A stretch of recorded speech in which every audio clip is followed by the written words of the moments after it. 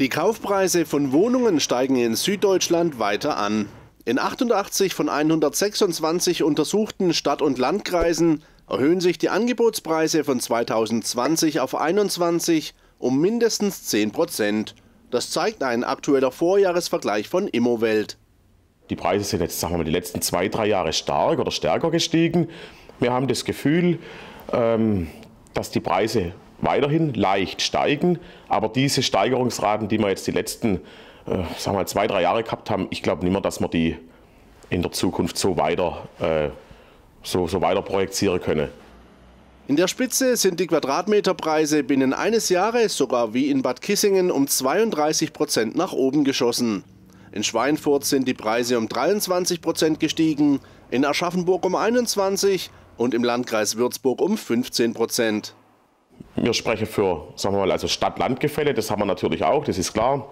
In Würzburg, in Schwäbisch Hall haben wir natürlich einen stärkeren Preisanstieg gehabt und haben wir auch immer noch stärker, wie natürlich auf dem Land. Ähm, trotzdem haben wir auch in Bad Mergentheim, in Kreilsheim auch Preisanstiege. Die Corona-Pandemie, die Möglichkeit von Homeoffice sowie der damit verbundene Wunsch nach mehr Platz und Naturnähe haben die Verschiebung der Nachfrage ins Umland weiter verstärkt. Der Bedarf an Immobilien ist nach wie vor hoch, Deshalb werden die Preise in absehbarer Zeit wohl auch nicht fallen. Wir merken eigentlich keinen größeren Bedarf, auch keinen kleineren Bedarf. Die Nachfrage ist nach wie vor hoch. Und ähm, ja, wie kann man sagen, im Privatbereich ist sie, sagen wir mal, noch höher wie im geschäftlichen Bereich.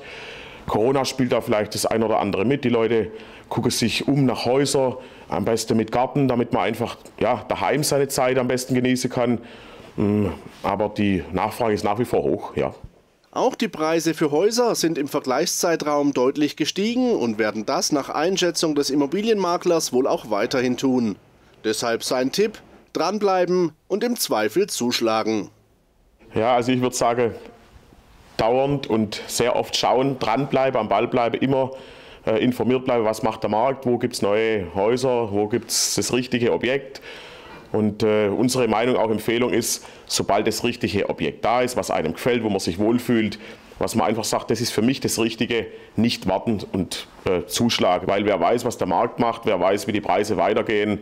Im Neubau ist es auch so, äh, dass der Preis weiter anziehen wird, ganz sicher. Und äh, wenn ich jetzt sage, will, billiger wird es nicht mehr, äh, ja, dann tut mir das oft für die Käufer auch leid, weil die Preise trotzdem sehr hoch sind. Aber ich würde nicht sagen, warten, das würde ich nicht sagen, nee. Nach teils kräftigen Anstiegen in den letzten Jahren verliert aber immerhin die Mietpreisentwicklung spürbar an Dynamik. Zwar verteuern sich in 69 von 80 deutschen Großstädten die Angebotsmieten, die Anstiege fallen allerdings geringer aus als in den vergangenen Jahren. Besonders in den hochpreisigen Städten ist das Abflachen der Preiskurve deutlich zu erkennen. Viele Mieter sind der Studie nach offenbar nicht mehr bereit, noch höhere Preise zu bezahlen.